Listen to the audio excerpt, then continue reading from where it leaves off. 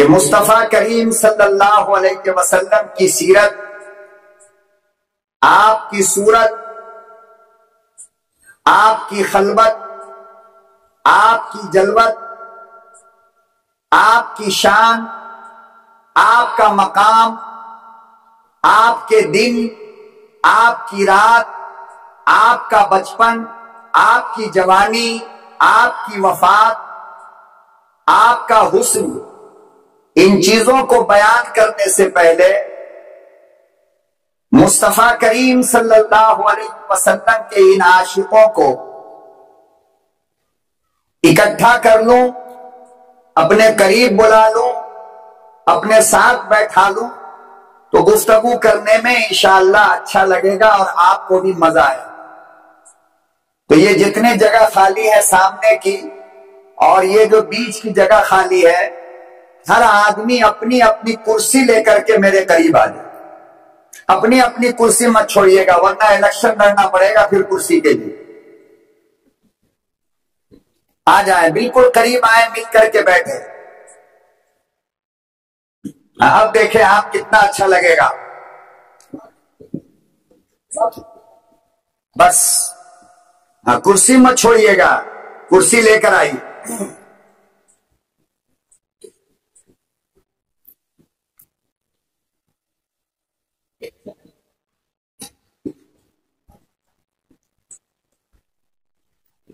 हज़ारों साल नरगिस अपने बेनूरी पे रोती है।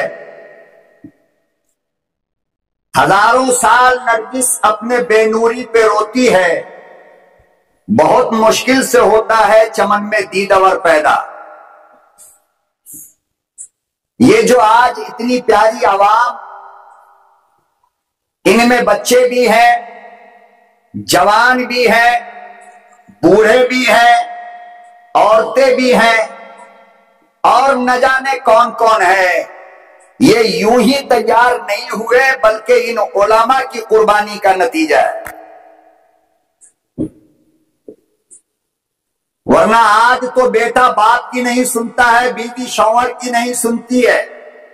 और बेटी माँ की बात नहीं सुनती तो मौलवी को सुनने के लिए कहा इतनी आसानी से लोग मिल जाते अगर इन ओलामा ने कुर्बानी न दिया होता और आपको तैयार न किया होता।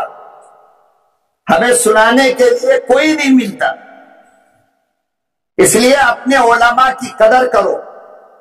अपने ओलामा की जूतियों को सीधा करने का सलीका अपने अंदर पैदा करो। दुनिया भी बनेगी और आखरत भी आपकी समझ जाएगी।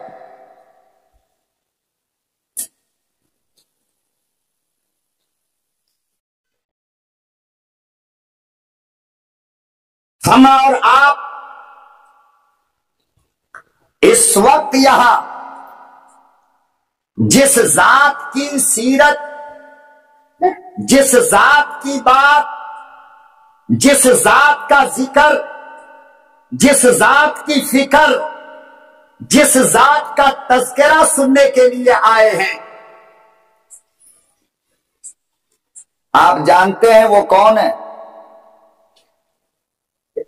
वो कौन जात है एक बार बोल दीजिए ना।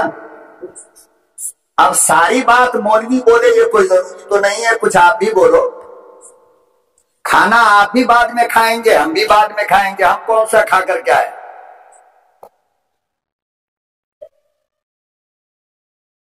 क्या नाम है उसका? ज़ोर से बोलिए।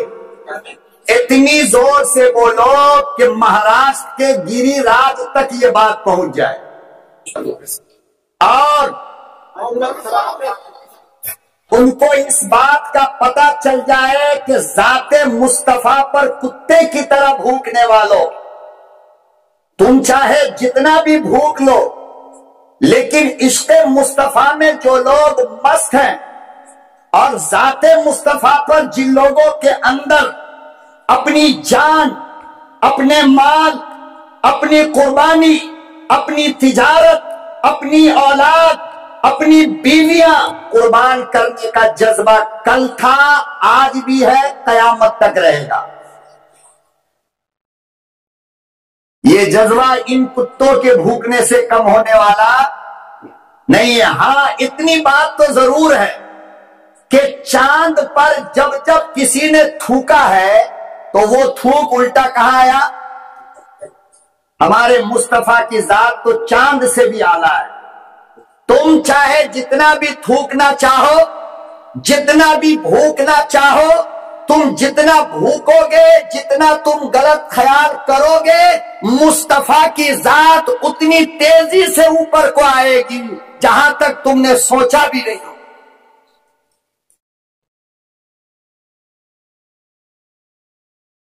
क्यों क्यों? वजह उसकी यह है कि हमारा तस्करा मौलाना करेंगे। आपका तस्करा आपका बच्चा करेगा। आपका ज़िक्र आपकी बीवी करेगी। आपके कमाल को आपका यार बयान करेगा। आपके हुसन को आपकी अम्मा बयान करेगी। आपके जमाल को आपका बाप बयान करेगा। आपके कमाल को कोई मौलवी बयान करेगा आयम मुस्तफ़ा तो उस जात को कहते हैं जिसके कमाल को खुद बनाने वाले ने ज़िक्र किया है।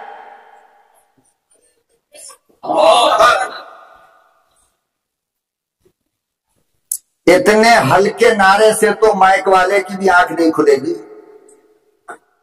नारा लगाना है तो सीना खोल के लगाओ, वरना मत लगाओ।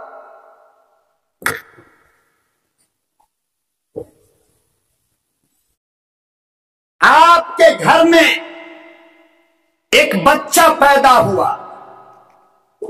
क्या हुआ? बच्चा। आपके घर में एक बच्चा पैदा हुआ। पहले मैं आपको एक बात समझाना चाहता हूँ क्योंकि मेरा मिजाज अपने आवाम के लबो लहजे में गुफ्तगु करने की है और जब तक कि मेरा मजमा एक एक बात को समझ न ले मैं आगे जाता नहीं। लफ्ज मोहब्बत आप जानते हो? मौलाना शोएब साहब ने फरमाया कि कुछ अलग बोलना है। अब क्या अलग बोलना है, ये मुझे तो मालूम। बहरहाल, कोशिश करता हूँ यूट्यूब का जमाना बहुत परेशान किया है मौलवियों। यहाँ बयान हुआ और उड़ीसा वाले ने सुना और कहा कि निर्मल ने जो बयान किया हुआ नहीं चलेगा।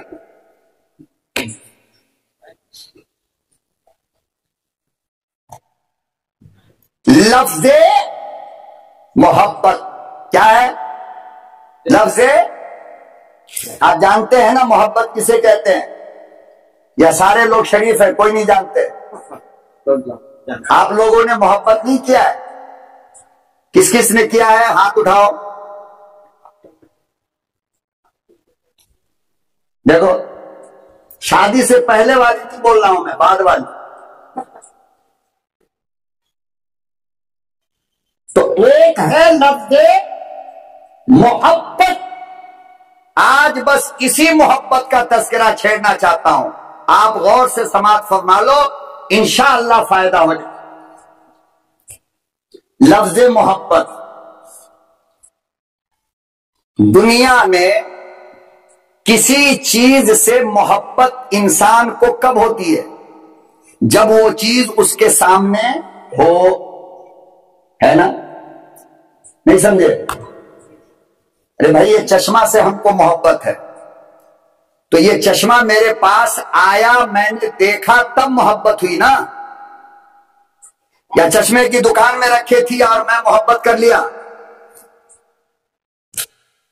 देखने के बाद ना, बच्चा आपके घर में पैदा हुआ, आपने देखा।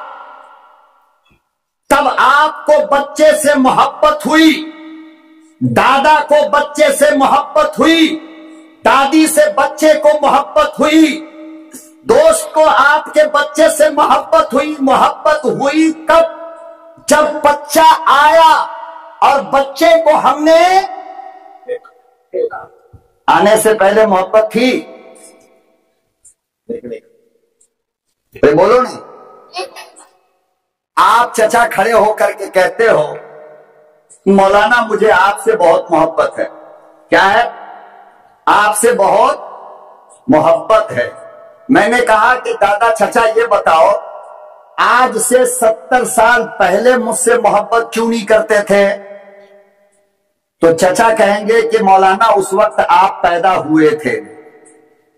है ना? जब आप पैदा हुए और आपको मेरी नज़र ने देखा तो थे तो आप बदसूरत मगर मोहब्बत हो गई। देखने के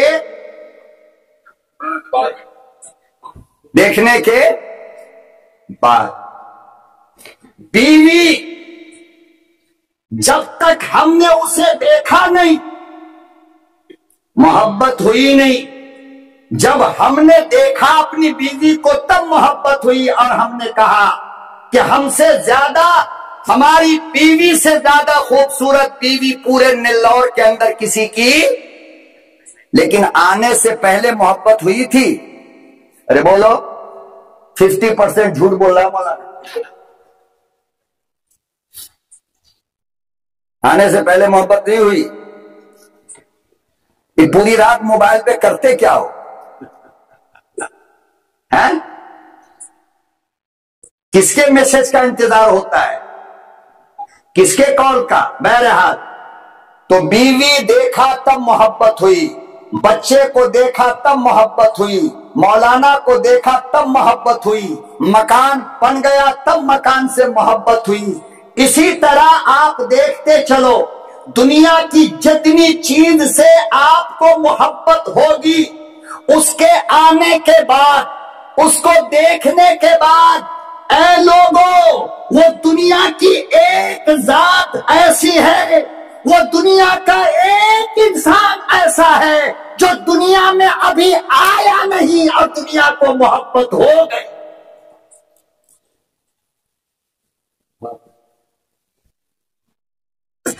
आदम को लोगों ने देखा तब मोहब्बत हुई। मूसा को देखा तब मोहब्बत हुई। इब्राहिम को देखा तब मोहब्बत हुई, खलील को देखा तब मोहब्बत हुई, इस्माइल को देखा तब मोहब्बत हुई, याकूब को देखा तब मोहब्बत हुई, अरे गुलाब को देखा तब मोहब्बत हुई, समंदर की लहरों को देखा तब समंदर से प्यार हुआ, लेकिन एक इंसान, वो जब से दुनिया बनी आज तक, और आज से लेकर कयामत तक वो एक इंसान ऐसा है जो अभी दुनिया में आया नहीं। मोहब्बत पहाड़ को हो गया, मोहब्बत पत्थर को हो गया, मोहब्बत पानी को हो गया, मोहब्बत जिन्नात को हो गया, मोहब्बत जानवर को हो गया, मोहब्बत पत्तों को हो गया, मोहब्बत चरिंदों को हो गया, मोहब्बत परिंदों को हो गया, मोहब्बत यहूद को हो गया, मोहब्बत नसारा को। अभी आया नहीं है। अभी? बोलो अभी। हज़रत आदम सलातो सलाम का जब इंतकाल होने लगा तो हज़रत आदम ने अपने सबसे बड़े बेटे हज़रत शीश को बुलाया। किसको? हज़रत शीश को। और कहा कि बेटे, जब भी कोई मुसीबत आए, कोई परेशानी आए तो मोहम्मद पे दरूद खूब पढ़ना। क्या करना? आदम ने देखा है, शीश ने देखा है, मोहब्बत हुई ना? आने के बाद या आने से पहले? आने से पहले। हज़रत शीश सलाम ने फरमाया, अब्बा, पहले नबी आप हो, पहले पैगंबर आप हो पहले रसूल आप हो, फिर ये मोहम्मद कौन है जिस पर आप दुरूद पढ़वाना चाहते हो?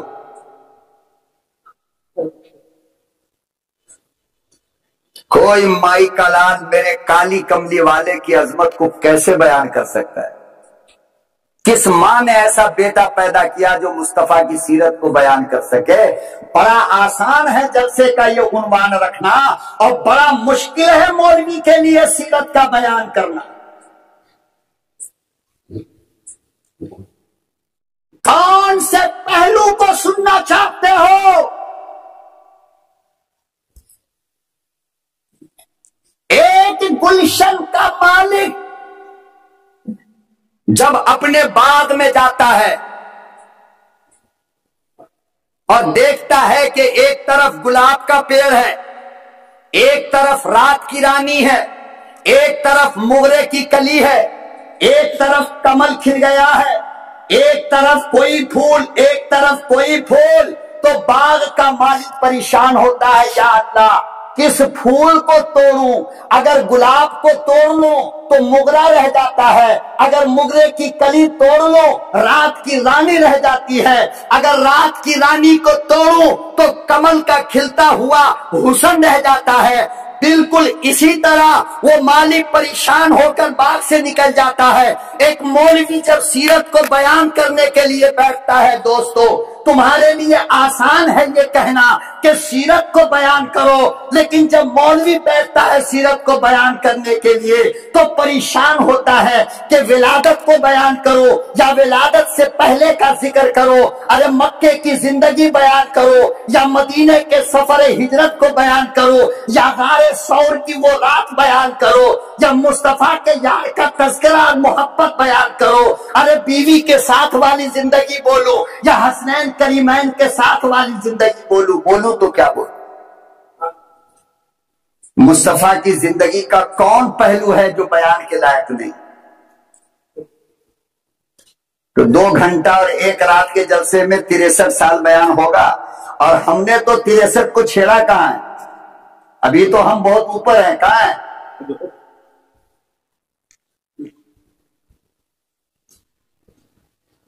कहा कि अब्बा, पहले नबी आप हो।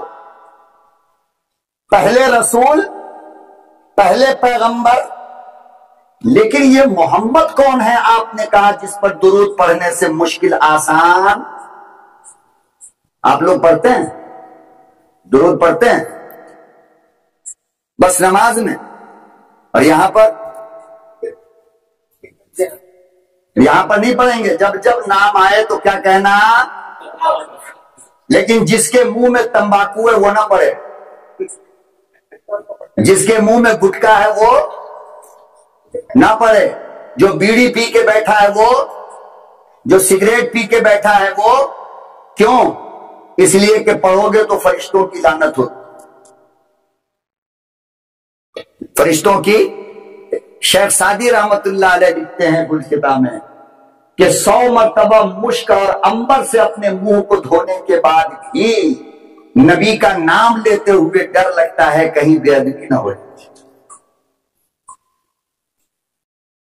और हम लोग बैतुल खला में मस्जिद के बीड़ी पिएँगे अब बगैर मिसवाक के जाकर के मस्जिद में खड़े होंगे, अल्लाह हुआ।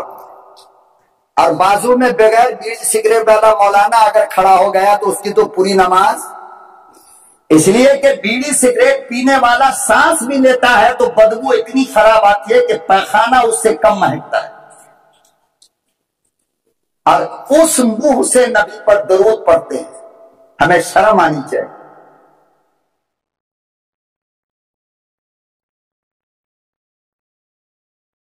मौलाना रशीद अहमद गंगोही रहमतुल्लाह की खिदमत में एक मुरीद आया।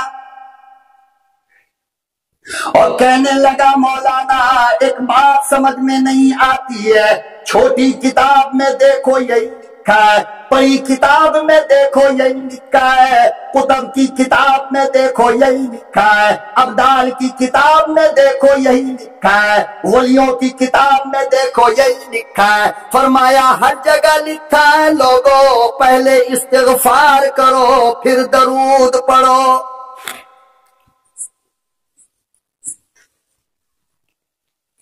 मौलाना बात समझ में नहीं आती है। ऐसा क्यों लिखा गया? वार मेरे अकाबिर, वार मेरे बाप दादा, क्या अंदाज में समझाया? मौलाना रशीद अहमद गंगोई रहमतुल्लाह ने कहने लगे, आओ बैठो, मैं समझाऊं।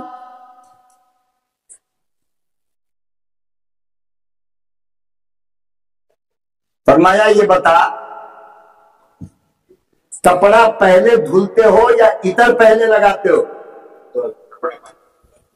देखो, आप अगर आखिरी तक नहीं बोलोगे तो मैं समझूँगा कि थक गए हो या सो रहे कपड़ा पहले धुलते हो या इतर पहले लगाते हो? कपड़ा? क्यों? इसलिए कि गंदे कपड़े पर इतर लगाया मौलाना ने फरमाया कि जब ये बात समझ में आ गई तो सुन। अल्लाह चाहता ये है कि पहले इस्तेगफार के पानी से अपनी गंदी जबान को धो और फिर मेरे मुस्तफ़ा का नाम ले।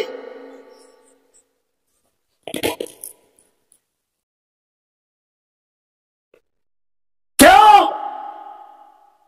इसलिए कि मेरे मुस्तफ़ा का नाम, वो पाकिजा और मुकद्दस नाम है कि मेरा फरिश्ता जिबरी ने अमीन भी बगैर वज़ू के नाम नहीं लेता। जबकि फरिश्ते तो नापाक भी होते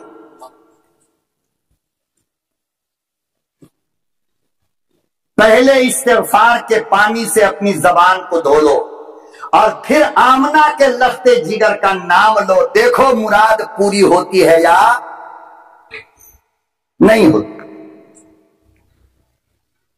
हम लोगों के अंदर से दुरूद का रिवाज खत्म हो गया।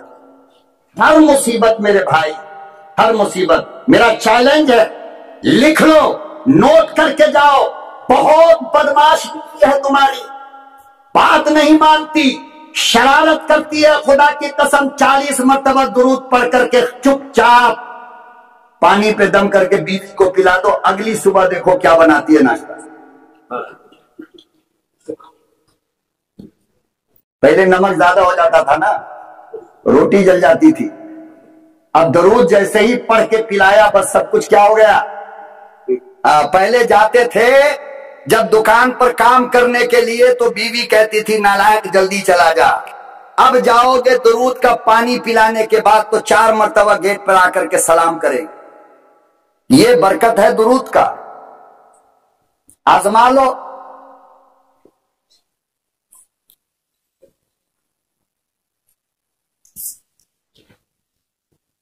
तो सैयदना आदम सलाम ने फरमाया, बेटे जब भी कोई परेशानी आए तो मैं तो जा रहा हूँ। तुम मोहम्मद अरबी सल्लल्लाहु अलैहि वसल्लम पर कसरत से दुरूद पढ़ना अल्लाह तुम्हारी परेशानी को दूर कर देगा। शीस सलाम ने फरमाया कि, अब्बा, नबी आप, रसूल आप, पहले आप, ये मोहम्मद कौन? आदम का जवाब सुनो। अल्लाह अकबर कबीरा हज़रत आदम सलातो तस्लीम ने इशाद फरमाया, बेटे, बात तो सही कहते हो, पहला मैं हूँ, रसूल मैं हूँ। पहला पैगंबर मैं हो, लेकिन तुम्हें पता होना चाहिए कि मुझे जब रब ने बनाया तो जन्नत का सैर हमको कराया। मगर क्या बताऊँ मेरे लगते जिगर? जन्नत का कोई दरख्त ऐसा नहीं, और किसी दरख्त का पौधा ऐसा नहीं, जिस पर लफ्ज मोहम्मद ने लिखा हो।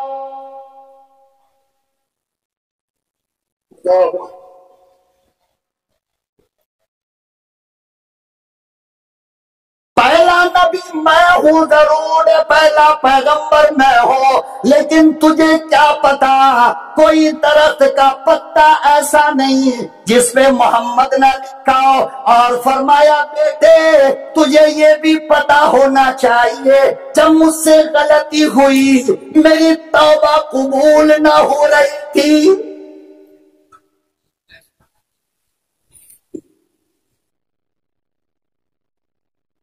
फिर मेरे परवरदिगार ने मुझ पर वही नादिल फरमाया, और अल्लाह पाक ने फरमाया, ओ आदम, तेरी तौबा की कबूलियत का एक ही शक्ल है। फरमाया, मेरे मुस्तफ़ा पर दुरूद पर अभी आए नहीं। अभी यहीं से चले थे ना। बहुत गौर से सुनना मेरी बात को। ठीक है ना? गेयर चेंज होगा, फिर वही आएगा मामला, है? अभी मुस्तफ़ा आए, मोहब्बत किसको? आदम को। मोहब्बत किसको? अहले जन्नत को। मोहब्बत किसको? जन्नत के दरख्तों को। मोहब्बत किसको? फरिश्तों को। अरे, हद तो ये है कि हज़रत आदम ने जब अपनी नज़र को उठाकर चौथे आसमान के पर्दे को देखा तो उस पर लिखा था, ला मोहम्मद रसूलुल्लाह। तो हज़रत आदम ने पूछा, अल्लाह, पहले आप दूसरे? ये आपके नाम के साथ मेरा नाम होना था ना, ये मोहम्मद कौन? अल्लाह ने फरमाया, ये मोहम्मद वही है, जिसको पैदा करने का अगर इरादा ना होता आदम तो मैं तुझे भी पैदा ना करता।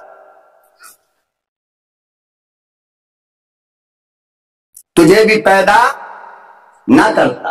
वो एक जो अभी आया नहीं, मोहब्बत हो गई, जबान वाले को भी हुई, तेज जबान को भी हुई। हज़रत अली की रिवायत मौजूद है। हज़रत अली कहते हैं कि खुदा की कसम खाकर कहता हूँ कि जब आमना का लफ्ते जिगर हज़रत आमना के शिकम में थे तो हज़रत आमना जब ज़रूरत के लिए बाहर निकलती तो पहाड़ के पत्थर लुढ़क लुढ़क कर हज़रत आमना के पाँव को चूमता था और कहता था कि आमना मुबारक हो। नहीं समझे?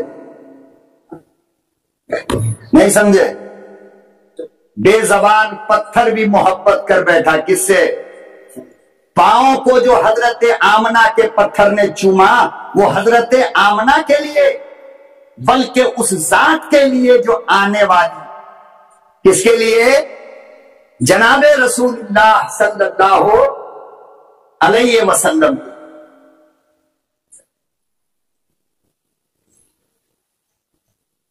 अभी आए नहीं।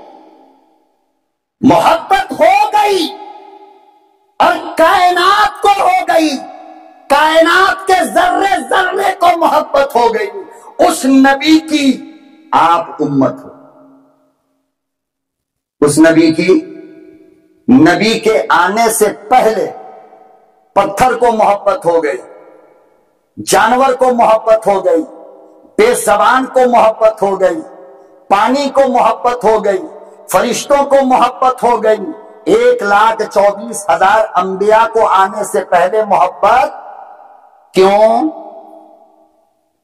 क्यों? इसलिए कि अभी कोई नबी पैदा हुआ ही नहीं। अभी कोई नबी पैदा न आदम बने, न ईसा बने। और अल्लाह ने अर्श पर एक जलसा बुला लिया। अल्लाह ने अर्श पर एक जलसा हाँ याद रखो, ज़मीन पे करोड़ों जलसे होते हैं। लेकिन जब से आसमान बना, तब से लेकर आज तक आसमान पर फकत दो जलसा हुआ है। कितना? कितना? बहुत काम की बात है पॉइंट नोट कर लेना। दो जलसा हुआ। एक जलसे का उनवान था तोहीद खुदा। और उसकी कारगुजारी रब ने बयान किया नौवे पारे में। वईद अखद अल्लाह अखद बनी आदम मिन इस आयत में उस जलसे की कारगुजारी रब ने बयान किया। और एक जलसा अल्लाह ने किया अजमत मुस्तफ़ा के उनवान पर। और उसकी कारगुजारी अल्लाह ने बयान फरमाई कुरान करीम के तीसरे पारे में गालिबन वईद अखदल्लासा कर नबी जी लमा आते किताबिन व हिकमा। रसूल मुसद्दिकुल्लिमा माकुम लतुमिनुन्ना। उलमा बैठे हैं। पूछो कितना भारी मतलब है इसका। लतु में मैं आपसे कहूँगा कि नबी पर ईमान लाओ। मैं आपसे कहूँगा कि रसूल पर ईमान लाओ। लेकिन अल्लाह एक लाख चौबीस हज़ार नबियों से कह रहा है कि मोहम्मद पर ईमान लाओ। क्या शान है। किस अजमत वाले नबी के गुलाम हो मुसलमानों। कभी कभी अकेले में बैठ करके सोचा करो, जिस वक्त शराब की बोतल तुम्हारे हाथ में आती है, अजमत मुस्तफ़ा को देखा। जिस वक्त जिना का इरादा करते हो, मुस्तफ़ा की अजमत को देखा करो कि किस नबी के झोली में अल्लाह ने तुमको डाला है। जिस वक्त हज्जाम की दुकान पे जाकर के दाढ़ी मुड़वाते हो ना, मुस्तफ़ा की अजमत का ख्याल कर लिया।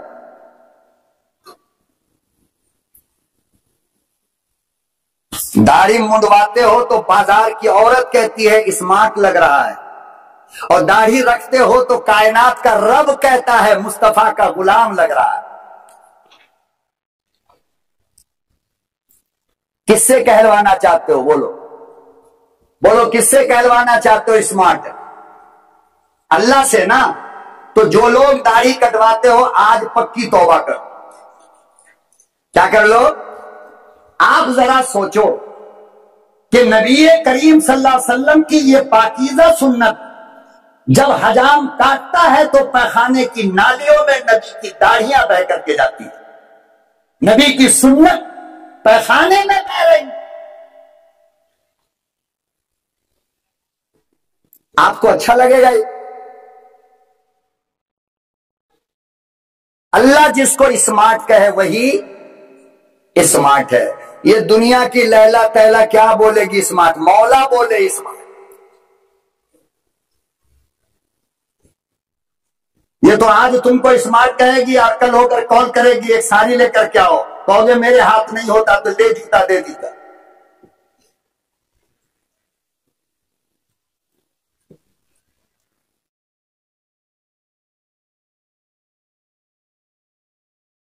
एक लाख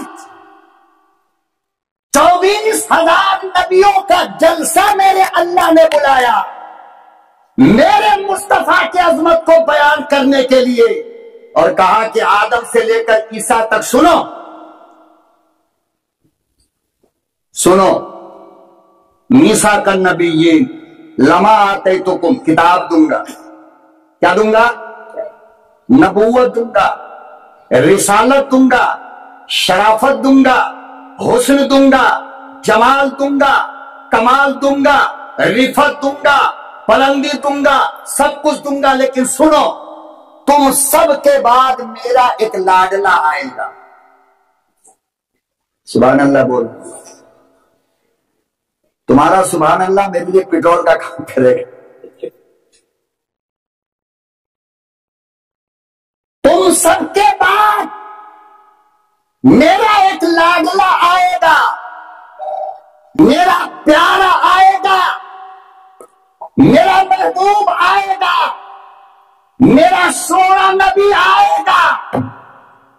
तुम सब के लिए ज़रूरी है कि जब वो आ जाए तो तुम सब मिल करके उस पर ईमान ला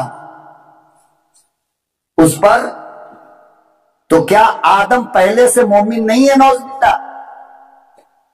अरे बोलो, मूसा ईसा, दाऊद, जकरिया, यहया सब के सब मोमिन है। क्या है?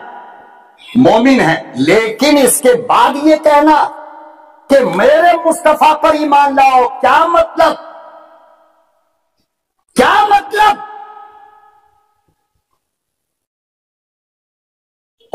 की मौजूदगी में ज़िम्मेदारी से कहता हूँ, इनकी बात है। लेकिन आपको समझाने के लिए कहता हूँ, गौर से समझ लेना।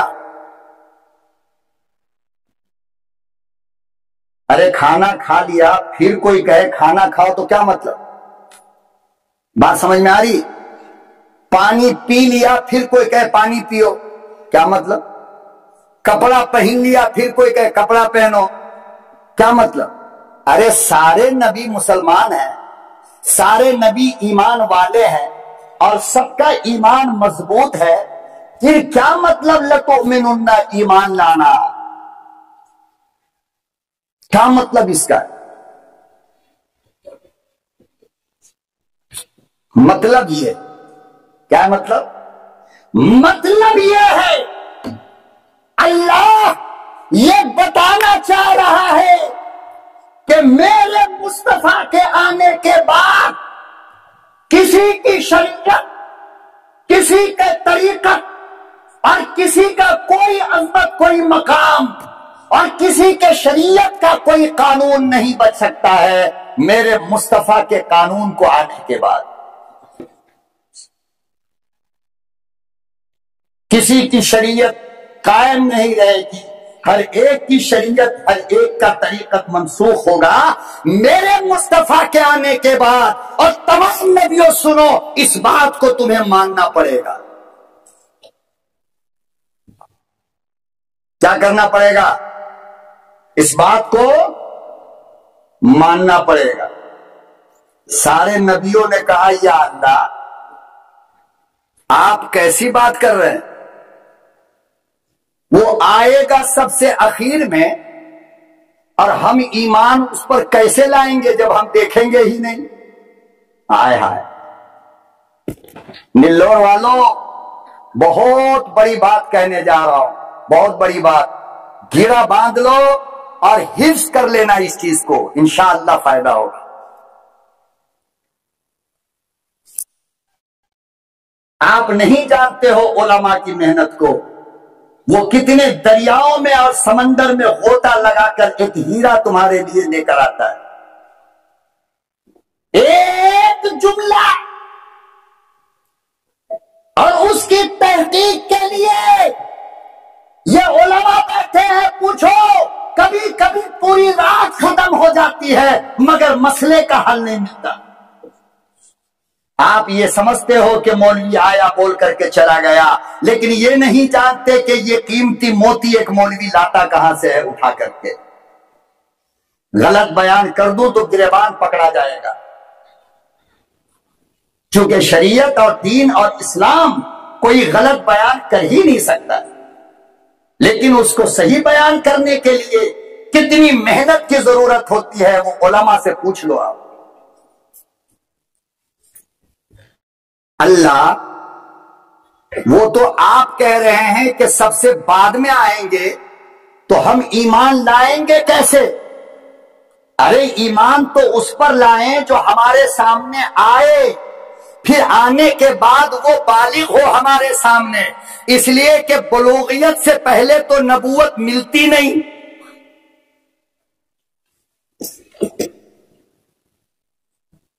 अच्छा यार, एक बात बताओ, आप लोग इतना खामोश हो, मुझे डर हो रहा है। मेरी बात आप लोग समझ रहे हो, नहीं समझ रहे हो? कुछ ऊँची बात तो नहीं कर रहा हूँ मैं। समझ रहे हैं ना? हैं?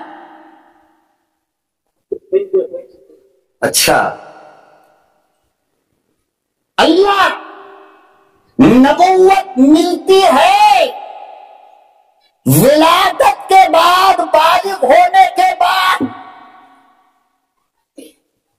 ये जो लोगों ने मशहूर कर रखा है ना, इस मसले की वजाहत भी मैं कर दूँ। आमतौर से खतीब और उलमा हजरात माफ़ी के साथ बयान करते हैं कि 40 साल से पहले किसी को नबूवत मिली नहीं। सौ फ़ीसद गलत है। कितनी फ़ीसद? सौ फ़ीसद? हाँ। अक्सर को नबूवत मिली है 40 के लेकिन यह कहना कि 40 से पहले किसी को नबूवत नहीं मिली, ये गलत है।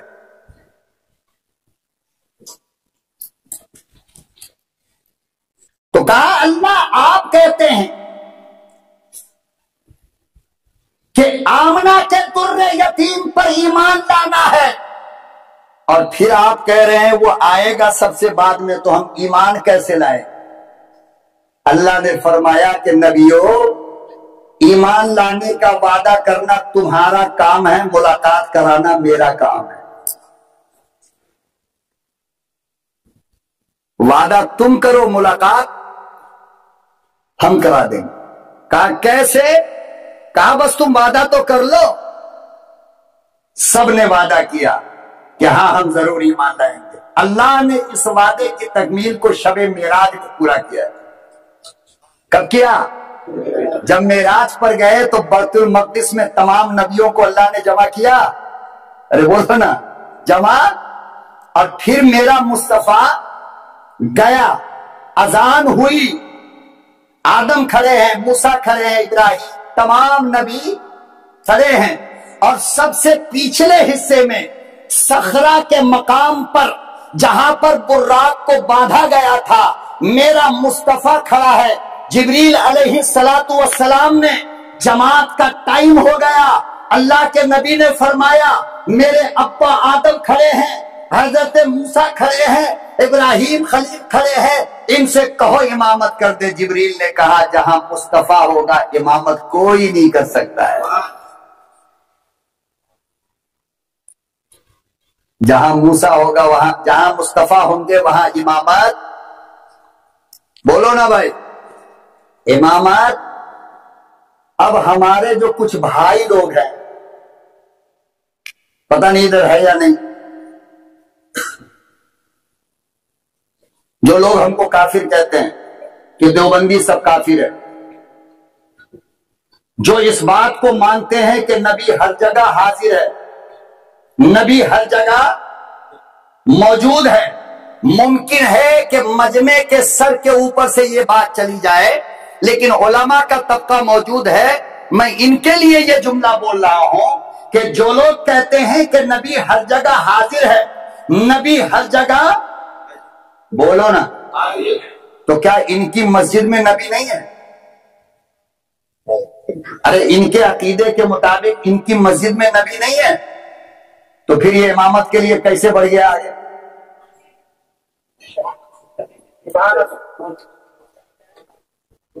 इमामत के लिए बढ़ा कैसे, तेरी हिम्मत कैसे हुई?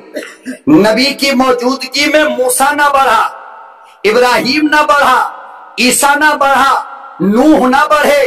तेरी इतनी हिम्मत के नबी को हर जगह मौजूद मानता है और मुसल्ले पे छलांगे मारकर चला जाता है। इसलिए बद अकीदा, या तो बोल कि देवबंदी का अकीदा सही है कि नबी अपने रोज़े में है।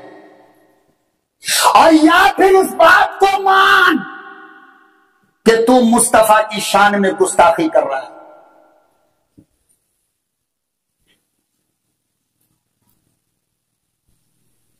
हमी ने सिखाया था, उंगली पकड़ के जिनको चलना सिखाया हमने, सुनता हूँ आज इनको दावा है रहबरी का। हमें चले हैं ये शिरक और बिदात समझाने के लिए। नबी मौजूद हो तो एक लाख चौबीस हज़ार नबियों में से कोई नबी इमामत नहीं कर सकता। और नबी निल्लोर के अंदर मौजूद तेरी मस्जिद में है तो तेरी हिम्मत। तू इमामत करे नबी तेरे पीछे।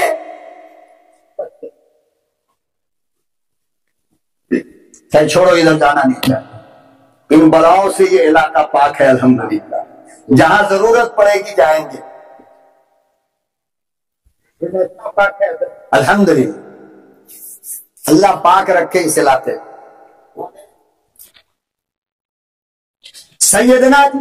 अमीन कहने लगे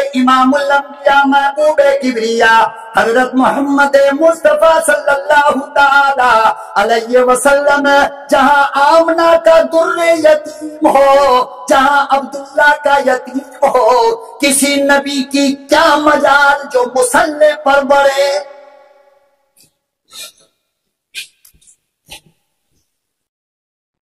दुनिया बनने से पहले नबी के वजूद में आने से पहले, अर्श वाले ने अर्श पे जलसा किया। नबियों से वादा लिया, मेराज में वादा पूरा किया।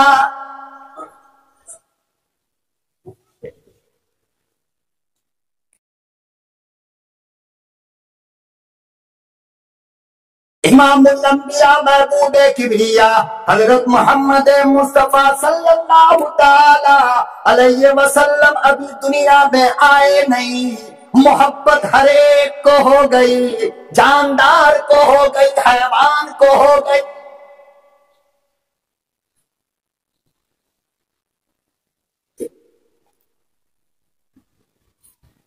छह माह के थे आप सल्लल्लाहु अलैहि वसल्लम अपनी अम्मा के शिकम में। कहा? अपनी अम्मा के छह माह के। कितने दिन के? छह माह के। अभी शादी को छह महीना गुजरा था, हज़रत अब्दुल्ला तशरीफ़ लाए और कहा कि आमना, मुल्क के शाम तिजारत का काफिला जा रहा है। अगर आप इजाज़त दे तो मैं भी कमाने के लिए चला जाओ। थोड़ी देर के लिए हमारे नाम से फ़ोन स्विच ऑफ़ कर दी मुस्तफ़ा की सीरत के उन्वान पर जलसा है ना? बेदबी नहीं होनी चाहिए। कहा, आमिना, शादी हो गई। कुछ रोजी रोटी कमाने के लिए जाना चाहता हूँ। इजाज़त दे दो। हज़रत आमना रोने लगी। क्यों? इसलिए कि फकत फकत चौदह साल की थी। कितने दिन की? ज़ोर से बोलो। चौदह साल की। हज़रत अब्दुल्ला की उम्र सोलह साल। कितनी? चौदह साल की छह महीने की दुल्हन। ज़ाहिर बात है कि कलेजा तो फटेगा ना। और पेट में, लेकिन हज़रत आमना कहती हैं कि खुदा की कसम, मुझे पता ही ना चला कि मेरे शिकम के अंदर बच्चा है। मेरे पेट में कब तक पता नहीं चला, मैं आगे बताता हूँ आप पता ही ना चला कि मेरे शिकम के अंदर बच्चा है। वरना औरत से पूछ लेना, बच्चे की इब्तिदा होती है तो माँ को पता चल जाता है कि मेरे पेट में बच्चा शुरू खाने से बदबू आने लगती है। खाना देखकर उल्टी होने लगती है। सर में चक्कर आने लगता है। बदन में सुस्त यानी अलग अलग औरतों को अलग अलग चीज़ लेकिन हज़रत आमना कहती है मुझे पता ही नहीं चला कि मेरे शिकम के अंदर क्या है.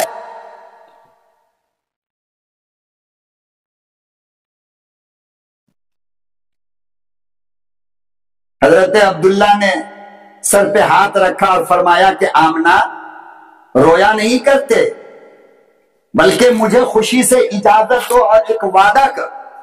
क्या करो? एक वादा का क्या वादा? कहा कि ये वादा करो कि जब मैं लौट कर आऊँगा और तुम मेरे आने की खबर सुनोगी तो गुसल कर लेना, नया कपड़ा पहन लेना, आँखों में सुरमा लगा देना, सर में कंगा करके चोटी बाँध लेना और खूबसूरत बन करके दरवाजे के पीछे खड़ी हो जाना, कहा आय हाय हाय.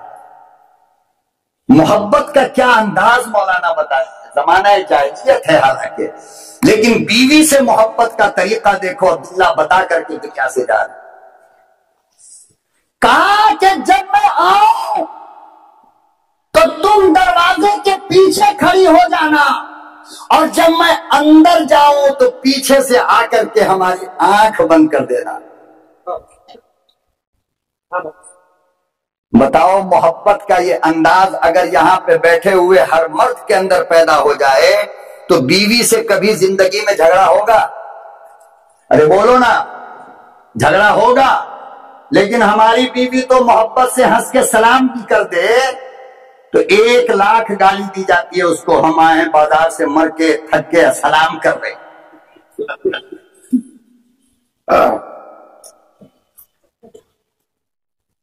जनाब आमना कहने लगी ठीक है हज़रत अब्दुल्ला चले गए।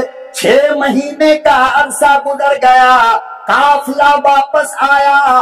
पूरे मक्के शहर के अंदर हर घर में खुशियों की लहर दौड़ गई। हज़रत आमना ने गुसल फरमाया, नया कपड़ा पहना। आँखों में सुरमा लगाया, सर में तेल डाला, फूल लगाया।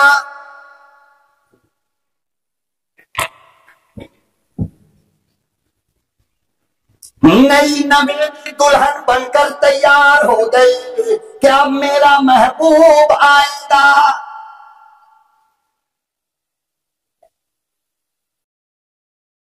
घर घर में लोग आने लगे। खुशियों का शामी आना तनने लगा। हर घर की औरतें जश्न मनाने लगी। हज़रत अब्दुल्ला अभी तक नहीं आए। शाम का सूरज डूब गया।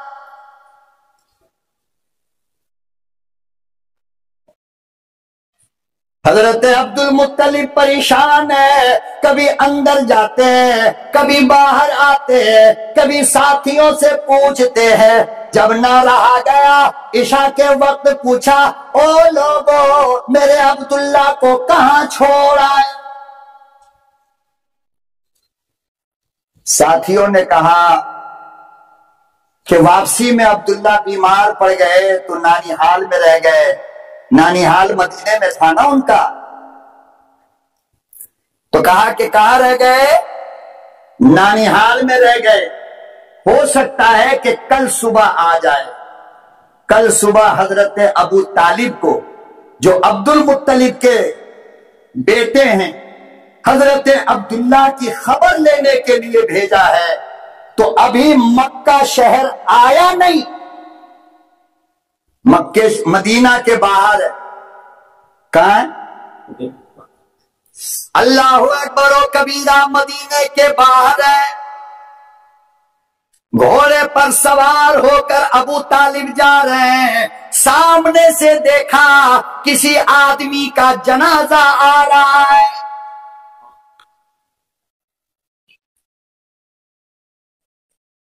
हज़रत अबू तालिब करीब गए, पूछा, कौन है? किसका जनाजा है? खुदा की कसम है, जो खबर अबू तालिब को मिली, अबू तालिब परेशान हो गए। लोगों ने कहा, ये अब्दुल्ला का जनाजा है।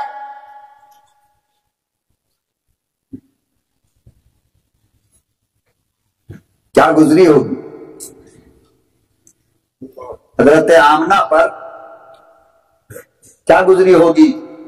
छह महीने का इमामुल अंबिया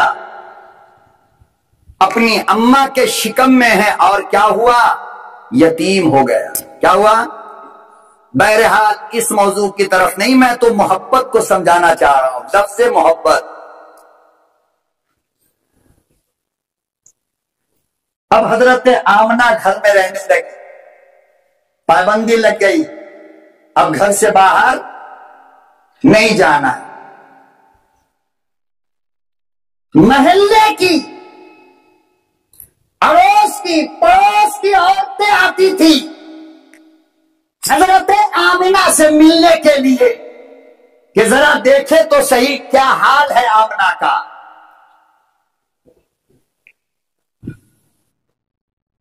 क्या? हाल है आमना का। उन औरतों में एक बुढ़िया आती थी जो जहर की पुड़िया थी। क्या थी? एक बुढ़िया आती थी जो जहर की पुड़िया थी। जाकर के हज़रत अब्दुल्ला की वालदा, यानी हज़रत अब्दुल मुत्तलिब की बीवी से कहने लगी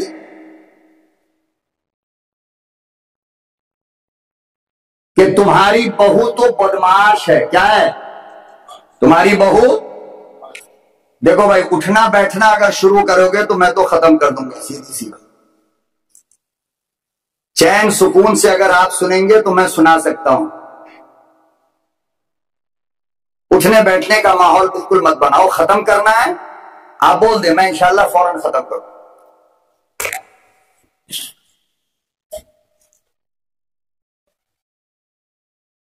तो जाकर के शिकायत कर दिया हज़रत अब्दुल मुत्तलिब की बीवी से, क्या? कि तुम्हारी बहू आमना बदमाश है, कहा कैसे? कहा कि शौहर का इंतकाल हो गया और अभी तक खुशबू लगाती है। क्या करती है अभी तक? और वो खुशबू भी ऐसी जो मक्के का नहीं है, बल्कि लगता यूँ है कि उसने यमन से मंगाया बहरैन से मंगाया है।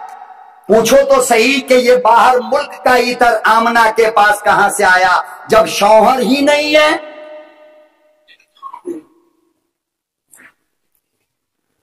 हज़रत अब्दुल मुत्तलिब की अहलिया गई और जाकर के कहने लगी हज़रत अब्दुल मुत्तलिब से कि अपनी बहू रानी को बुला करके जरा पूछो तो सही, उसके पास इतना कीमती इतर आता कहाँ से? बुलाया। हज़रत आमना गई। जाने के बाद बैठ गई, कहा, बेटा, आपके पास इतनी कीमती इतर कहाँ से आती है? कौन ला करके आपको देता है? कहा, अब्बा, जब से मेरा शौहर दुनिया से गया, मैंने इतर की शक्ल नहीं देखी। और कहाँ से आएगा, कौन लाएगा, मुझे क्या पता? तो हज़रत अब्दुल्ला अब्दुल मुत्तलिब ने कहा कि बात तो सही है और यकीन मुझे भी है, लेकिन ये तो बताओ कि अभी भी तुम्हारे बदन से ये खुशबू कहाँ से आ रही?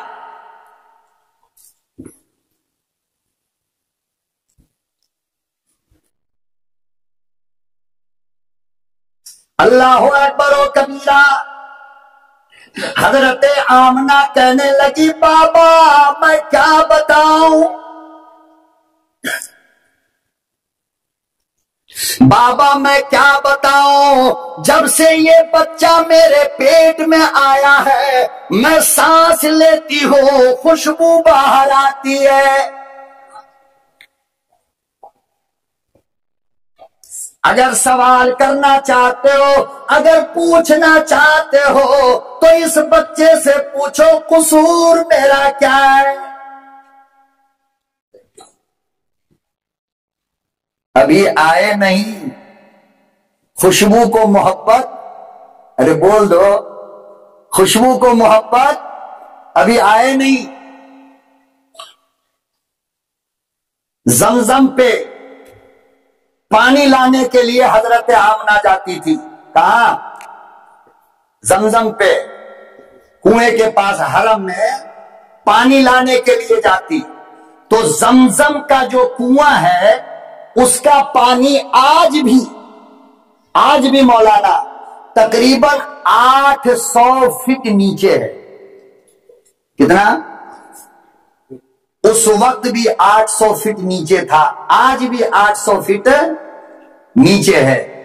लेकिन हदीस की मोतबर किताबों के अंदर अल्लामा हलबी ने, सीरत हलबिया के अंदर लिखा है, और मौलाना अब्दुल रहमान मुबारक पूरी ने अर्रहीकुल मखतूम के अंदर लिखा है।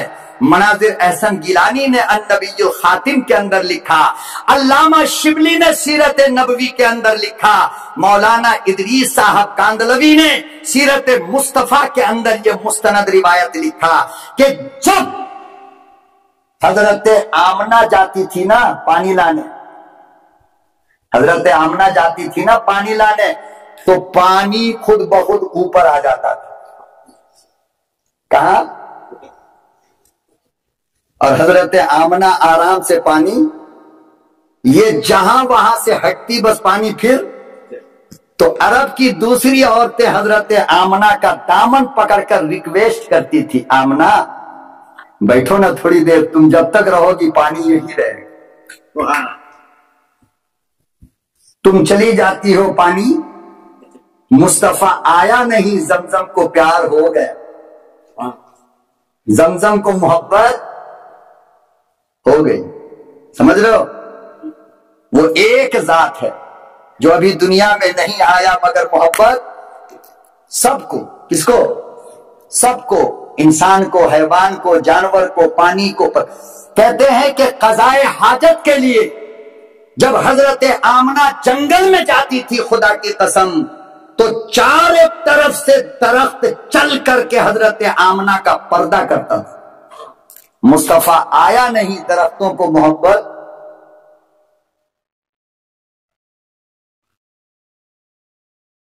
और उलमा इकराम ने लिखा है, सीरत मुस्तफ़ा उठाओ। इमाम लंबिया किबरिया, हज़रत मोहम्मद मुस्तफ़ा सल्लल्लाहु वसल्लम, जब से अपने अम्मा के शिकम में आए ओलमा ने लिखा है, कभी भी हज़रत आमना जब बाहर निकलती, हज़रत आमना जब जब बाहर निकलती तो आसमान से बादल साया करता। खुदाबंद जलात की कसम नौ महीना तक इमामुल अम्बिया अम्मा के पेट में रहे, मगर नौ महीने में कभी भी किसी हाल में हज़रत आमना के सर पे धूप न लगी।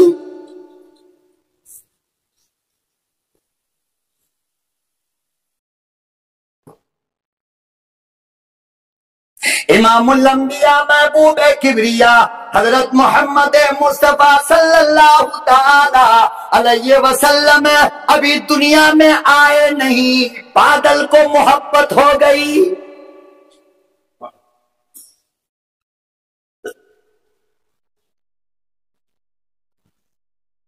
जंगल की तरफ़ हज़रत आमिना जाती थी और पत्थर पाओ को चूम चूम कर कहता था, ओ आमिना, मुबारक हो, तुम्हारे पेट में इमामुल अंबिया है। मुस्तफ़ा आए नहीं, पत्थर को प्यार।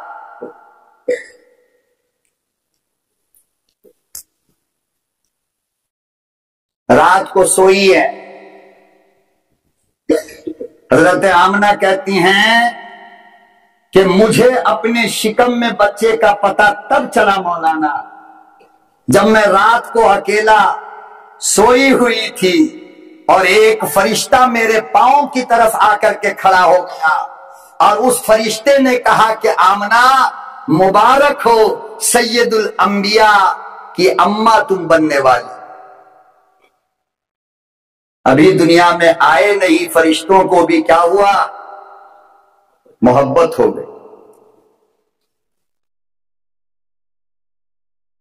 नौ महीना मुकम्मल हुआ कितना?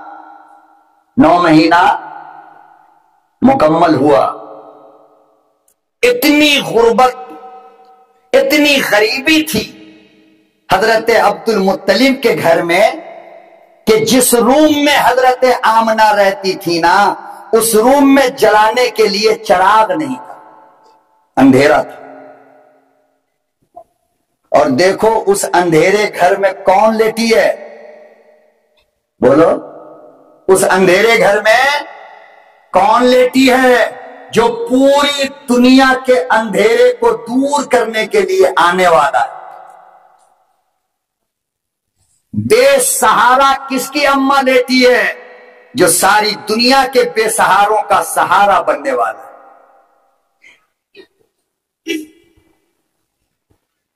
कोई आसान है सीरत मुस्तफ़ा बयान करना?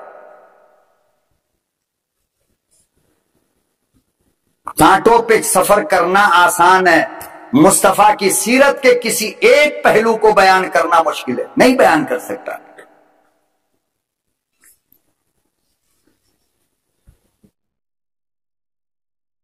अंधेर चराग नहीं।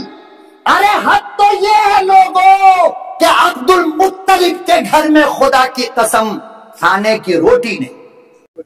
ले लिया। क्यों? अल्लाह ये बताना चाह रहा था कि मेरे मुस्तफ़ा पर बाप का एहसान भी हमको गवारा नहीं है। कोई ये ना कहे कि मुस्तफ़ा पर मैंने एहसान किया है।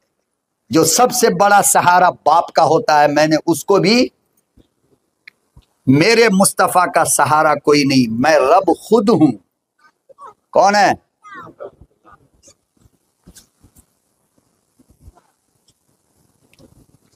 आगे चलो। जिस घर में आपकी विलादत होने वाली है लोगों। उस घर को अंधेरा कर दिया। ये बताने के लिए कि मेरा मुस्तफ़ा दुनिया की रोशनी का मोहताज नहीं है। मेरा मुस्तफ़ा दुनिया की रोशनी का मोहताज जिस घर में आने वाला है, उस घर में फाका रख दिया। क्या रख दिया?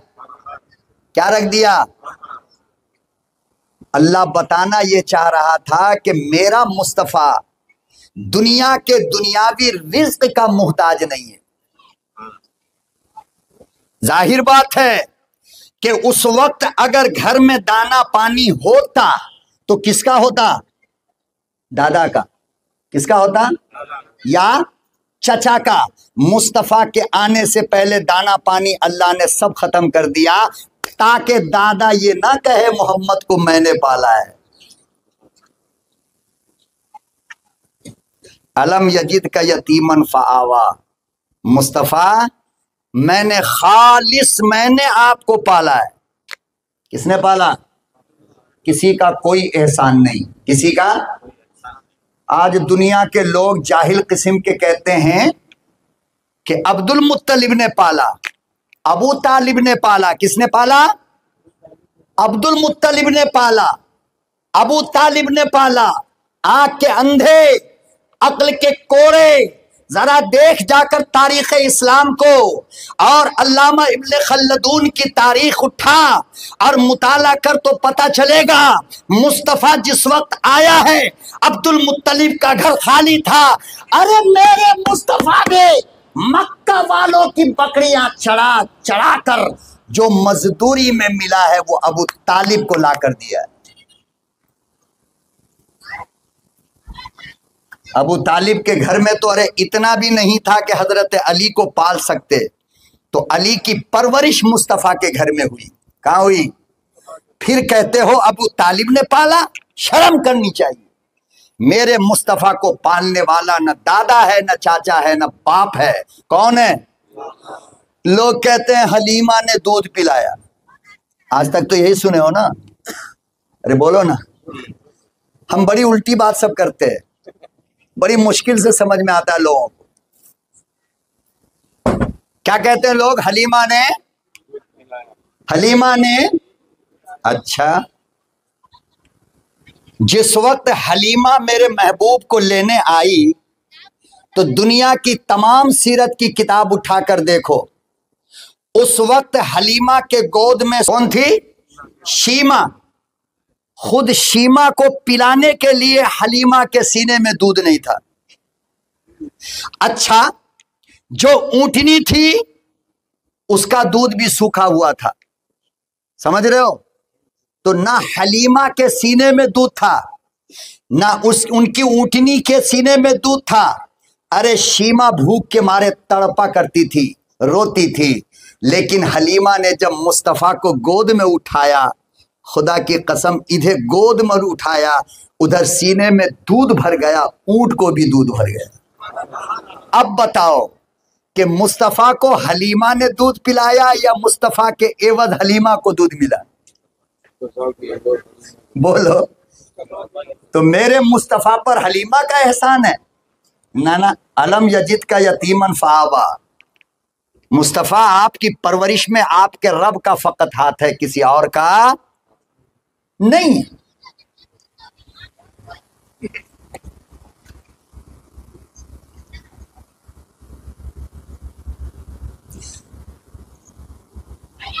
विलादत का वक्त आया। घर अंधेरा। खाने को कहती हैं कि मैं लेटी हुई थी। क्या थी? और नौ महीना मुकम्मल हो गया। मैं इस फ़िक्र में थी कि काश आज इस वक्त मेरा अब्दुल्ला होता तो सहारा बन जाता। याद रखो मुसलमानों, औरत के डिलीवरी के वक्त सबसे ज़्यादा जिसकी याद औरत को आती है, वो उसका शौहर होता है। खुदा की कसम, दुनिया हॉस्पिटल में आकर के बैठ जाए, औरत को सब्र नहीं होता। लेकिन शौहर पेशानी पे हाथ रख करके दो जुमला मोहब्बत से बोल दे, औरत को सब्र आ जाता है। उस वक्त भी हज़रत अब्दुल्ला नहीं है और अकेली लेटी है। तो हज़रत आमना कहती हैं कि मेरी आँख अभी लगी थी। क्या हुई थी? मेरी आँख अभी थोड़ी सी नींद और बेदारी के बीच में थी कि मैंने अच्छा दरवाज़ा बंद है। क्या है? दरवाज़ा, छत भी, खिड़की भी, सब बंद है। कहती हैं कि मैं लेटी हुई थी कि देखा, मेरी दाई तरफ़ एक खूबसूरत औरत बैठी है। मेरे बाई तरफ़ एक खूबसूरत औरत बैठी है। मेरे पाँव की तरफ़ एक जवान खूबसूरत लड़की बैठी है। मुस्तफ़ा आए नहीं अभी। आए नहीं। मोहब्बत? बैठी है। कहते हैं कि दाई तरफ़ वाली औरत ने पाओ की तरफ़ बैठने वाली औरत से कहा ए एक गिलास पानी ला। क्या ला? फिर दाएँ बाएँ दोनों तरफ़ जो बैठी थी, उन्होंने उस पानी के अंदर दम किया। क्या किया? और थोड़ा सा पानी हज़रत आमना से कहा कि पी लो। और थोड़ा सा पानी लेकर के पेट पर यू रखा और कहा कि आमना के लखते जिगर इमामुल अंबिया, आइए ना। क्या कहा? तशरीफ़ लाइए। हज़रत आमना कहती है, ये बोलना था कि मेरे जिगर का टुकड़ा दुनिया में आया और आने का अंदाज बदल कर आया। कैसे आया? अंदाज? पूरी दुनिया इंसानियत में जब भी कोई बच्चा पैदा हुआ लोगों तो सीधा पैदा होता है। पहले क्या निकलता है बाहर? सिर ना हाँ पहले सिर। और यू चित होता है ना उल्टा तो नहीं होता सीधा होता है बच्चा। सिर निकलता है आदम से लेकर आज तक। मेरे अल्लाह का यही निज़ाम है। और आज से लेकर कयामत तक मेरे अल्लाह का यही निज़ाम रहेगा कि बच्चा आसमान की तरफ़ देखता हुआ दुनिया में आता है। लेकिन आमना कहती हैं कि मेरा अनमोल हीरा जब दुनिया में आया तो सजदे की हालत में आया है। ऐसे। बोलो, कैसे? ऐसे। सजदे की हालत में। और फरमाती हैं कि मेरे लाडले ने जब उंगली ऐसे उठाई अतहियात में जिस तरह उठाते हो जब मेरे महबूब ने उंगली ऐसे उठाई तो कहती है कि उस उंगली से एक नूर निकला जो मकान के छत को फाड़ता हुआ आसमान तक गया। हर चीज़ मेरे मुस्तफ़ा की निराली है। क्या है? हज़रत आमना ने पूछा तीनों औरत से, अब सुनो, कि माई, आप कौन हो? दाई तरफ़ वाली से पूछा, आप कौन हो? तो उन्होंने कहा कि मैं फिरौन की बीवी आसिया हूँ। मैं फिरौन की बीवी देखना चाहते हो? किताब मेरे मोबाइल के अंदर मौजूद है, दिखा सकता हूँ। समझ रहे हो ना? ओलामा की मौजूदगी में बातें कर रहा हूँ, कभी आप ये ना समझ लेना। यहाँ वहाँ का मसला चल रहा है। मुस्तनद बात है ये। कहा कि मैं फिर की बीवी आसिया हूँ। बाई तरफ़ वाली से पूछा, आप कौन हो? तो कहा कि मैं ईसा की वालदा मरियम हूँ। और पाओ के तरफ़ जो बैठी थे, उससे पूछा, आप कौन हो? तो कहा कि मैं मूसा की बहन फातिमा हूँ। आप तीनों क्यों आए? हज़रत आमना ने पूछा, आप तीनों क्यों आए? कहा, इसलिए आई हो कि मुस्तफ़ा का निकाह मेरे रब ने जन्नत में हम तीनों से पढ़ाया है। और यही बात मेरे आका ने वफात से कुछ दिन पहले हज़रत खदीजतुल कुबरा से भी कहा था कि, खदीजा, तुम्हारे साथ मेरी दुल्हन जन्नत में मरियम भी होंगी, आसिया भी होंगी और फातिमा भी होगी। क्यों? मेरी विलादत से पहले अल्लाह पाक ने मेरा निकाह उन तीनों से पढ़ाया है। मुस्तफ़ा आए नहीं मोहब्बत। अब खत्म करें जलसा।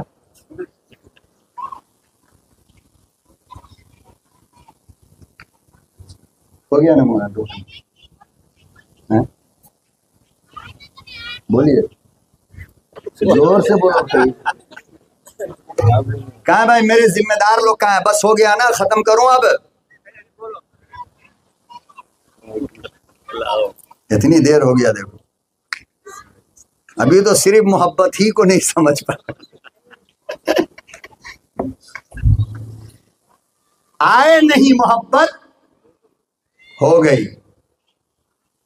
हज़रत अब्दुल मुत्तलिब उसी वक्त जिस वक्त मेरे आका दुनिया में आए खाना काबा की, गिलाफ से टेक लगाकर बैठे हुए थे मुतवली थे ना खाना काबा के। कौन थे? हज़रत अब्दुल मुत्तलिब मुतवली थे। तो टेक लगाकर बैठे हुए थे कि खाना काबा के दीवार से आवाज़ आई, अब्दुल मुत्तलिब, नेक पोता मुबारक हो। क्या मुबारक हो? नेक पोता मुबारक हो। और वहीं से आवाज़ आई कि अब्दुल मुत्तलिब अपने इस पोते का नाम मोहम्मद रखना। क्या नाम रखना? मोहम्मद। सल्लल्लाहु अलैहि वसल्लम। क्यों? क्यों? अल्लाह मियाँ मोहम्मद क्यों? कहा, इसलिए कि मैंने उसका नाम आसमान पे अहमद रखा है। क्या रखा? ज़मीन वालों के लिए मैं चाहता हूँ कि उसका नाम मोहम्मद। दोनों का माना क्या है? दोनों का मतलब क्या है? अहमद का मतलब यह है, जिसने सारी मखलूक में सबसे ज़्यादा अल्लाह की तारीफ़ की हो उसको अहमद कहते हैं। याद रखोगे? उसको और सारी दुनिया की मखलूक ने जिसकी सबसे ज़्यादा तारीफ़ की हो उसको मोहम्मद कहते हैं। अब हिंदुस्तान का ये कोई चिल्लर चिल्लर अगर गड़बड़ करे तो क्या होने वाला है इससे? हैं?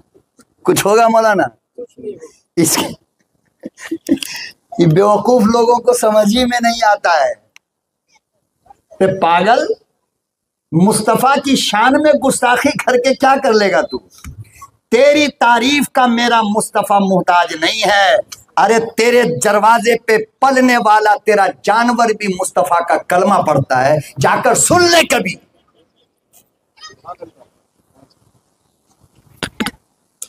दुनिया की कौन ऐसी मखलूक है जो मेरे मुस्तफ़ा का नाम न लेता हो। दुनिया की कौन ऐसी चीज़ है जो मुस्तफ़ा का कलमा न पड़ती हो? तेरे भूखने से क्या होने वाला है?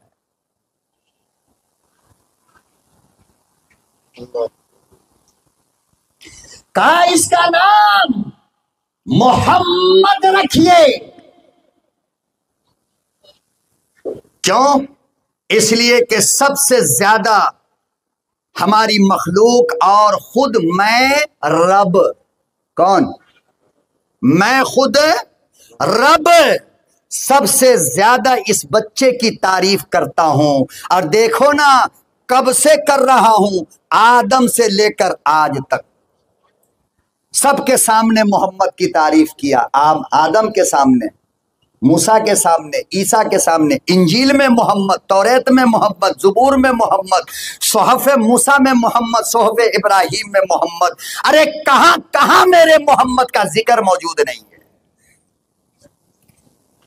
तो जो सबसे ज़्यादा अल्लाह की तारीफ़ करे, उसको अहमद कहते हैं। और जिसकी सबसे ज़्यादा अल्लाह तारीफ़ करे, उसको सल्लल्लाहु अलैहि वसल्लम।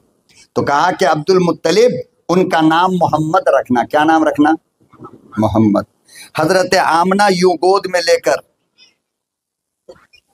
काली कमली वाले के रुखे अनवर को देख रही थी। चाँद से ज़्यादा हसीन चेहरे को देख रही थी।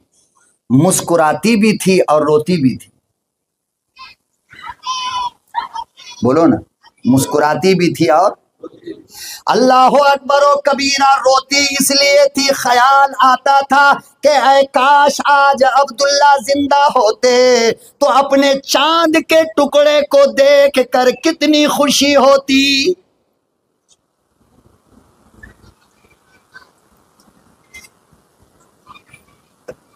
काश अब्दुल्ला मौजूद होते, अपने लगते जिगर को गोद में उठाकर लोरी देते। थोड़ा बड़ा होता तो बाज़ार लेकर जाते, खिलौना खरीद कर लाते। अपने बच्चे के साथ खेलते, अब मेरे बच्चे को कौन खिलौना ला कर देगा, कौन खिलाएगा?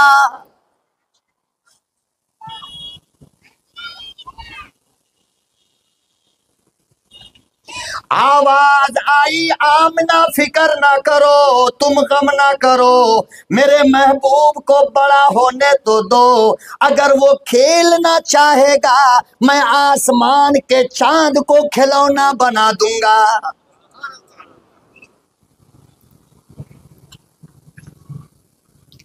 दुनिया के किसी साइंस ने आज तक ऐसा रिमोट पैदा ना किया होगा, जो रिमोट मुस्तफ़ा की उंगली में लगाऊँगा।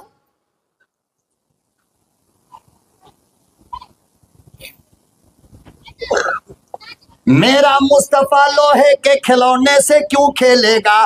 प्लास्टिक के खिलौने से क्यों खेलेगा?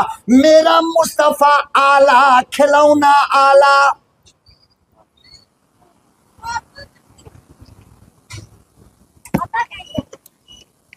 फिर दुनिया ने देखा, अपनी आँखों से देखा, अपनों ने देखा, गैरों ने देखा, सबने देखा, मुस्तफ़ा ने इशारा किया, चाँद का जिगर फट गया, एक तरबती सातुअन शक्कल कमर।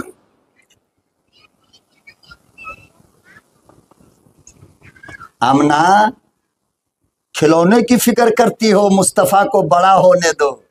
अरे वो डूबते सूरज को इशारा करेगा मैं रोक दूँगा। रहा मसला के बाप होता तो दुनिया घुमाता। आमना फ़िक्र ना करो मेरे मुस्तफ़ा को बड़ा होने दो। दुनिया का शहनशाह और बादशाह तो ज़मीन पे घूमता होगा। मेरा मुस्तफ़ा घूमना चाहे तो अर्श पे बुलाऊँगा। तुम फ़िक्र क्यों करती हो? अरे दुनिया जहाज़ से जाएगी, ट्रेन से जाएगी, बस से जाएगी, बीएमडब्ल्यू से, मर्सिडीज से। और मेरा मुस्तफ़ा ऐसी गाड़ी से जाएगा कि दरवाजे की कुंडी हिल रही होगी या मुस्तफ़ा बैतुल मकदस से आसमान पर, आसमान से सिदरा पर, सिदरा से बैत मामूर तक जाकर वापस आ जाएगा। इतनी तेज सवारी होगी।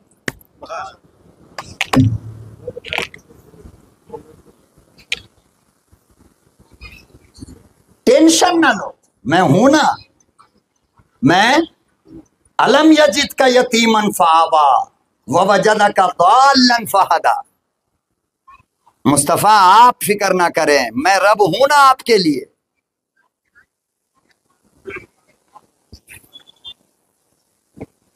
यूँ देखा,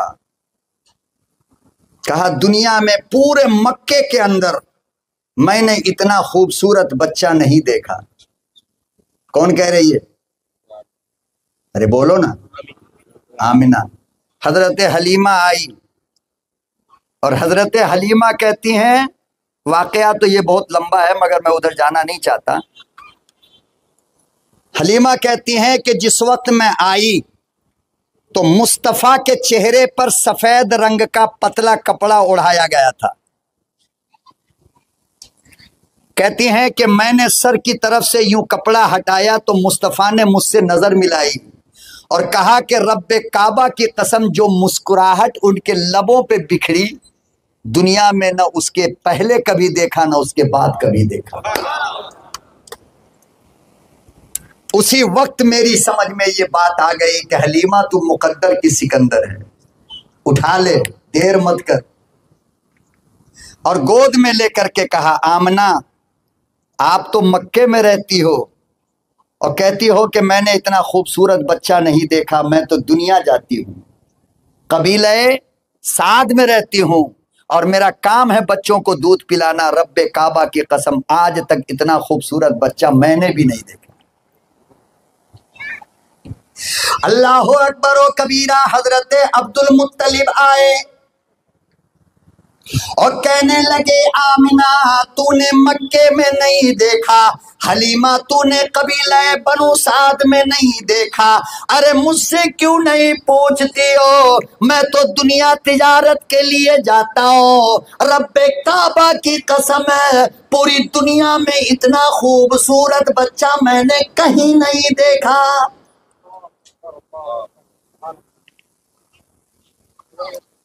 अल्लाह पाक ये तीनों की गुफ्तगु सुन रहे थे। किसकी? हुसने मुस्तफ़ा के सदक़े में मुस्कुरा दो, यार मैं कुछ जुल्म तो नहीं कर रहा हूँ। सीरत बोलने के लिए बुलाए हो तो सीरत सुना रहा हूँ। मुस्कुराहट दे दो थोड़ा मुझे, ताकि मेरी हिम्मत बढ़े। तीनों की गुफ्तगु। मेरा अल्लाह सुन रहा था। जिबरील अमीन को बुलाया, कहा, जिबरील, इधर आइए। जरा आप भी मेरे महबूब को एक झलक देख कर बताइए, आप क्या कहते हैं? आए, हाय, आए। जिबरील अमीन आए। सरकार दो जहाँ का रुख अनवर देखा और देख करके कहा कि, आमना तुमने मक्के में नहीं देखा, हलीमा तूने कबीले बनु साद में नहीं देखा अब्दुल मुत्तलिब, तूने पूरी दुनिया में ऐसा बच्चा नहीं देखा। अरे मैं नूरी फरिश्तों का सरदार जिबरील अमीन हूँ। माँ के पेट में जब बच्चे की शुरुआत होती है, सबसे पहले माँ के पेट में बच्चा मैं देखता हूँ। कौन देखता है? और मेरा काम यह है कि जिस जगह उसकी कबर बननी है, जिस जगह उस बच्चे की कबर बननी है। वहाँ की मिट्टी ले जाकर माँ के पेट में उसकी पेशानी पे मैं लगाता हूँ। दुनिया का कोई बच्चा ऐसा नहीं जिसको सबसे पहले मैंने नहीं देखा, लेकिन खुदा की कसम इतना खूबसूरत इससे पहले कभी नहीं देखा। वह आहसन मिन कलम तरकत तो आईनी वाजमल मिन कलम तली दिन निसा। इश्क मुस्तफ़ा में डूब कर हसान इबन साबित को कहना पड़ा, हे मेरे महबूब मिन कलम तरकत तो आईनी मेरी आँख ने आपसे ज़्यादा खूबसूरत बच्चा देखा ही नहीं।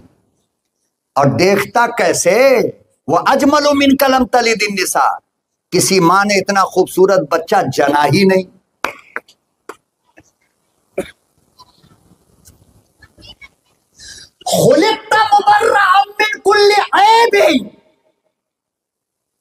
दुनिया का कोई एक बच्चा बताओ जो माँ के पेट से दुनिया में आए और उसमें कोई ऐब ना हो।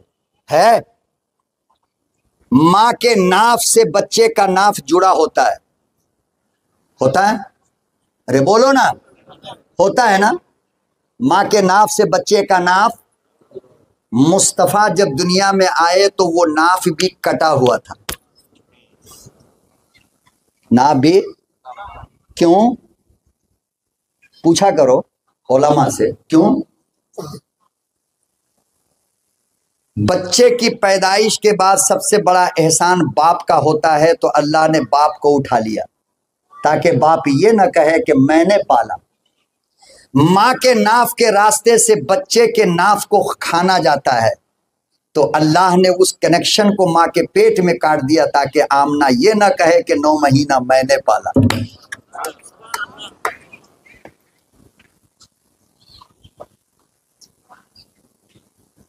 पॉइंट है नोट करो। जितने इंसान दुनिया में आए, बगैर खतने के आए, बगैर एक लाख चौबीस हज़ार अंबिया भी, मेरा मुस्तफ़ा जब दुनिया में आया तो माँ के पेट से खतना किया हुआ है। क्यों? पूछो ना। बोलो क्यों? ताकि मेरे मुस्तफ़ा के पर्दे के मकाम को कोई मखलूक न देख सके। गोया, अल्लाह ने मेरे मुस्तफ़ा के जान की भी हिफाजत की और अल्लाह ने मेरे मुस्तफ़ा की इज़्ज़त और आबरू की भी हिफाजत की है। अब कोई कुत्ता भूख कर मेरे मुस्तफ़ा की बेइज्जती क्या करेगा? करेगा? ये सारा निज़ाम वहीं से आ रहा मौलाना, बनता हुआ। बात समझ में आ रही? तो जिबरील अमीन ने कहा कि इतना खूबसूरत बच्चा मैंने कभी देखा नहीं। लौट करके गए। अल्लाह की अदालत में पूछा, जिब्रील, कैसा है मेरा लाडला? आय हाय। कैसा है मेरा प्यारा? कैसा बनाया मैंने? हसान इब्न साबित कहते हैं खुलिकता मुबर्रा अमिन कुल्ले ऐबिन। हर ऐप से पाक पैदा किया। दुनिया में जितना बच्चा आता है, उसके जिस्म पर माँ के पेट की गंदगी लगी होती है। लेकिन अल्लाह की कसम, सीरत की किताब पढ़ो। लिखा है हदीस के अंदर, मुस्तफ़ा जब दुनिया में आए तो लग रहा था कि गुसल करके आए। खुलिकता मुबर्रा हर ऐब से मुस्तफ़ा को पाक पैदा किया। किसने? का अन्न का कद खुलिक तक कमा तशा। हसान इब्न साबित कहते हैं, ऐसा लग रहा है कि अल्लाह ने मुस्तफ़ा से पूछ पूछ कर मुस्तफ़ा को बनाया है।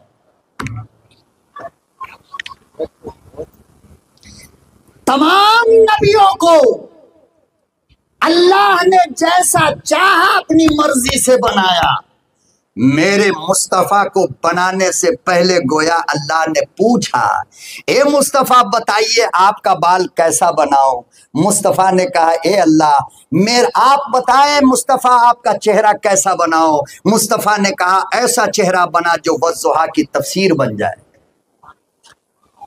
नहीं समझोगे? हम समझ रहे हैं। नहीं समझो। मेरे महबूब, आपका बाल कैसा बनाऊँ फरमाया, अल्लाह ऐसा बना जो वल्लैली इजा सजा की तफसीर बनती। फरमाया, मुस्तफ़ा, आपका होठ कैसा बनाओ? फरमाया, ऐसा बना जो कयामत तक दुनिया वलिसानम व शफतैन पढ़ती रहे या मुस्तफ़ा के होठ को याद करती रहे। फरमाया, मुस्तफ़ा, आपकी आँखें कैसी बनाओ? फरमाया, मेरे रब, ऐसी बना जो कुरान भी बोल उठे माजागल बसर, वमा तला। फरमाया, मुस्तफ़ा, आपकी ज़बान कैसी बनाओ? फरमाया, ऐसी बना दे जो वो कुलू कौलन सदीदा की तफसीर बनती हो। मुस्तफ़ा, आपका चलना कैसा बनाओ? फरमाया, ऐसा बना यमशूना अलल अर्द होना, जिसको कुरान भी पुकार पुकार कर बोलता हो। मुस्तफ़ा आपको कंबल कैसा उड़ाओ फरमाया, मेरे मालिक, ऐसा कंबल उड़ा जो या अयोहल मुजम्मिल की सदा बनती हो। फरमाया, आपको बेडशीट कैसा दू? फरमाया, ऐसी बेडशीट दे दे जो या अयोहल मुदस्सिर कहकर पुकारी जाती हो। अरे, मेरे भाई, मैं क्या सुनाऊं तुमको? कुरान का एक एक हर्फ मुस्तफ़ा की सीरत का आईना है। कहाँ तक सुनोगे आप? और वो भी एक जलसे में। हा हा हा अभी तो मोहब्बत ही नहीं खत्म हुआ है। अल्लाह अकबर कबीरा, परवरदिगार आलम ने इरशाद फरमाया, जिब्राइल। कैसा मेरा महबूब लगा फरमाने लगे, ऐसा कभी ना देखा। अल्लाह पाक ने फरमाया, कैसे देखोगे? मैंने बनाया ही नहीं।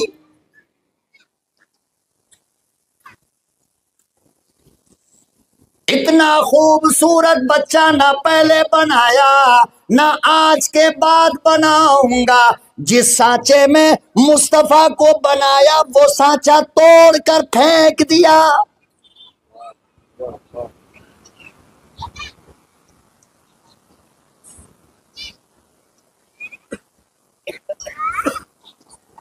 इतना खूबसूरत। अल्लाह पाक ने जनाब रसूल उम्मी व हाशिमी सब कह दो सल्लल्लाहु अलैहि वसल्लम को बनाया। मैं समझता हूँ कि सीरत मुस्तफ़ा का ये अजीम पहलू जिसे मोहब्बत कहते हैं, मैं समझाने में शायद आपको कुछ कामयाब हो गया हूँ। हो गया? समझ गए ना? सारी कायनात से मोहब्बत तब होती है जब वो आ जाए और मुस्तफ़ा से कायनात को मोहब्बत तब हो गई जब मुस्तफ़ा अभी आया नहीं है। अल्लाह पाक अमल की तोफ़ी अता फरमाए। आज के लिए आप सारे हजरात हाथ उठाकर खुशी से इजाज़त दीजिए। मैं फिर इन कभी आऊँगा, आप बुलाओगे, मैं ज़रूर आऊँगा। अल्लाह ने ज़िंदा हयात रखा तो फिर किसी एक मौजू पर आपकी प्यास को बुझाने की कोशिश